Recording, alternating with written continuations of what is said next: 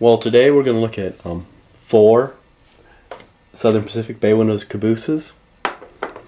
I just um, two of them just arrived today. I have the Athearns right here, which is 27.95. First one, our state-of-the-art Microtrains Bay Window caboose. 32. It runs for 32.85 at the hobby shop is what I paid for it. I also have a set model by Locomotives. Um, not exactly who sure who they are or who, but I've had them for a while and I picked them off off of eBay. Really cheap, inexpensive. And then as for comparison, I have a really old Con-Cor model to look at.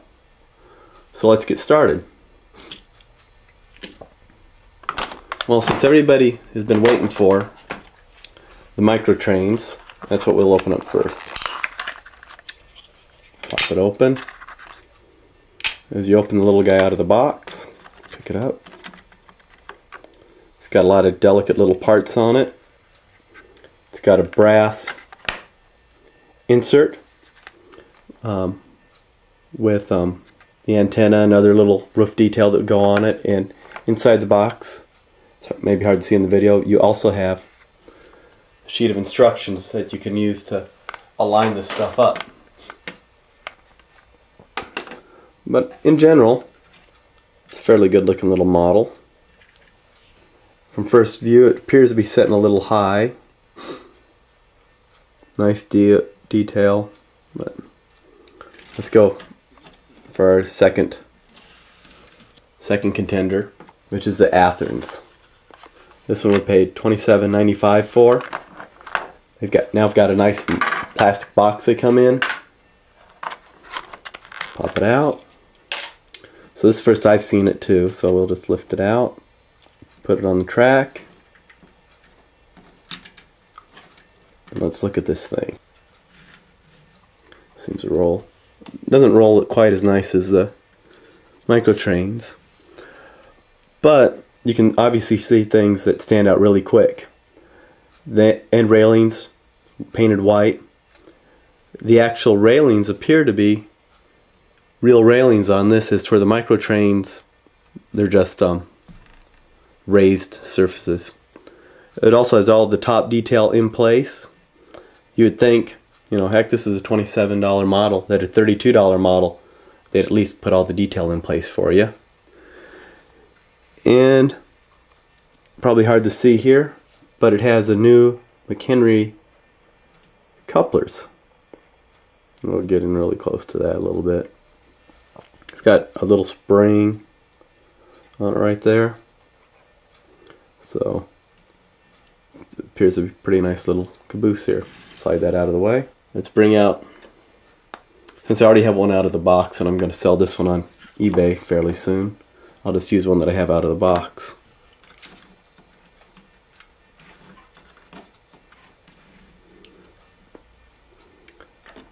This is the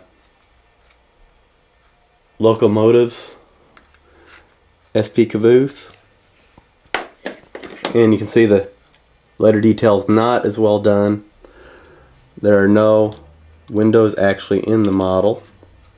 So if you want to add windows, you can add it in. The roof walk, big thick piece of plastic. Everything's kind of more or less basic starter type of caboose here. Oops. But in general, it's a fairly nice caboose. I mean, for somebody doing operations or something, not caring about pictures and stuff, you could probably oversee the fact that the roof walk, roof walk is rather huge. Well, let's kick him out of the way. And bring up our final ones that I've been using for a long time are the classic Con-Cors. You know, I'd almost say that these are almost the same molds as the locomotives. You still got the open windows. Let's see, flip this guy around here let match a little bit.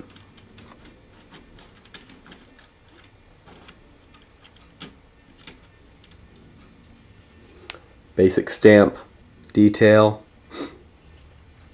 open windows, fake plastic looking Walk on the roof.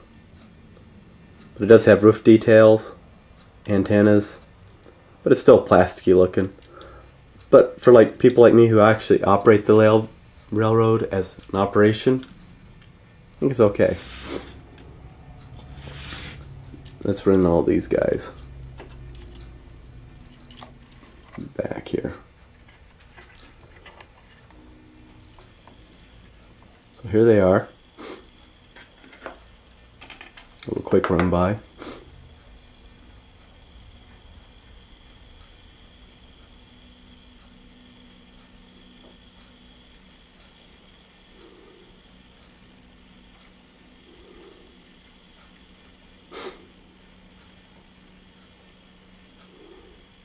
Let's bring them back into play. Here they come.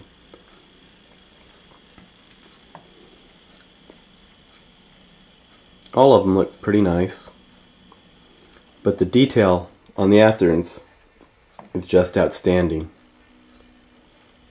You know, you're looking at something $4 less, you know, $30 for the 32 for the big one. But it's just a really nice looking caboose. The other thing you can look at, which really sticks out with the microtrains unit, it is so much higher than everything else. I'll set this card up here on top as a comparison. So a little bit easier to see. You look at this. The ride height. It's just way too high. Both cabooses have little built-in generators on them. Both of them have full glass. Like I said, the microtrain is missing most of the roof detail. As for the Athearns, took the time to put it in. Handrails, really nice. Um, it just is such a better caboose. Bring it down here so you can look at the ends. Even the details on the ends of these.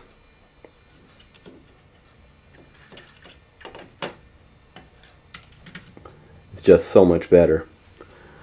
The micro trains, if you look, poor end painting, no window seams. The Athearns, gorgeous window seams, seams, rails, everything flip it around even on the sides on the bay window. It's hard to see. It's even got the little vent right there. Granted the microtrain has it too but it's just not as pronounced. So there you have it. Micro microtrains cabooses come in two numbers at this time You've got